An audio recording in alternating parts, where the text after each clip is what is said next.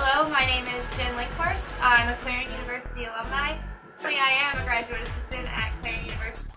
I'm courageous, confident Clarion.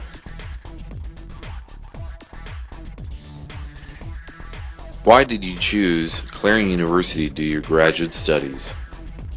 I think after going here for four years for undergrad, um, I was really familiar with the program and I, uh, I knew I'd get more time with the professors that I had during undergrad, so um, I think it all just kind of made sense and I knew I'd get a, a better hands-on experience here at the station. Currently, what degrees do you have from Clarion? Um, undergrad, I have a bachelor's in mass media, arts, and journalism with a concentration in broadcasting, and I also have a minor in speech.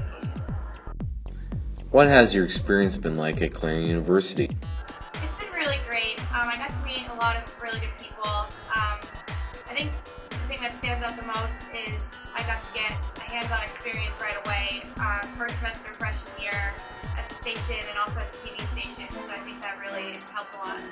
What is it like being a graduate assistant, and what are your duties at the radio station?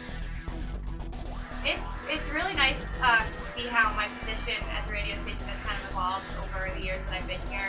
Um, obviously, when I first started out, I was DJ, and then I kind of made my way up the, up the chain with um, being production manager, and now being station manager. It's really it's really neat to just have more um, a manager's position and oversee everything that's going on. Do you feel Clarion has prepared you for the workforce?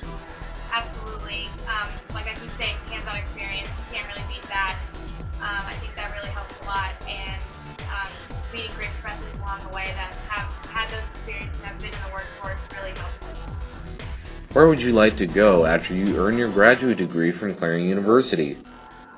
Well, the goal right now is to um, hopefully be working in a public relations firm. Um, right now, I'm looking at PR firms that work directly with a couple music labels, so I think that's kind of the, the way I want to go with that. What degree do you recommend a graduate take at Clarion University?